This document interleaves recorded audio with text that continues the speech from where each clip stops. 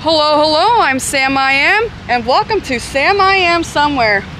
And that somewhere is, tonight, we are going to Burlington Regal for another Out of the Theater movie review.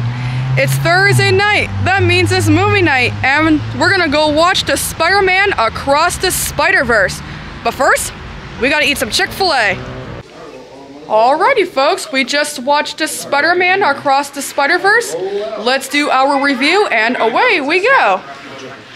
I think the movie was really good because the good parts I like about this movie is the animation because I always love to watch animation on a big screen.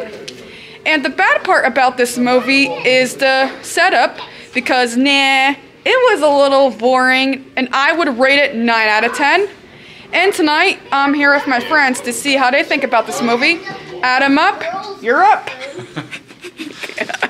uh, I mean, I, I, like the animation too. Like, it's mind blowing. I, I, it's worth seeing it, and on the big screen just for the animation. But I hated the ending. Absolutely hated the ending. It kills the ratings.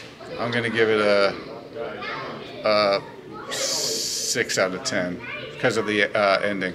Alrighty, folks. Since Zach and Michelle didn't come, I'm gonna call him Don Solo tonight. What do you think, Don Solo? Great movie. Really like the animation. Uh, it was drug out a little bit, but uh, ending was rough. But I'll give it a seven out of ten. All right, Don Solo. Next week's movie is Transformers: Rise of the Beast. Transformers, robots in the sky. So, if you enjoy this video, please hit the like button, and you can subscribe anytime because it's free for you. Alrighty, folks, thanks for watching, and we will see you real soon. ah! They're behind me. Bolivians! I don't know how, but they found me. Run for it, Marty!